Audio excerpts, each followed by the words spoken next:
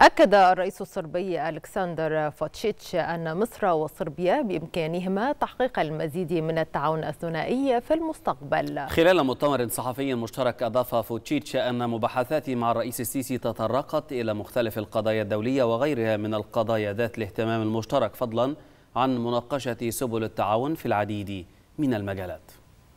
قد وقعنا اليوم عدة اتفاقيات في غاية الأهمية وخاصة اتفاقية التجارة الحرة بين الدولتين.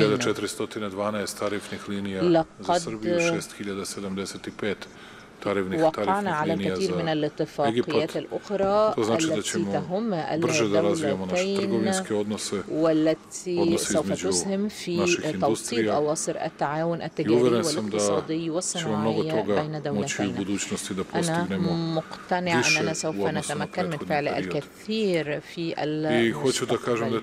أكثر بكثير مما تم في الماضي.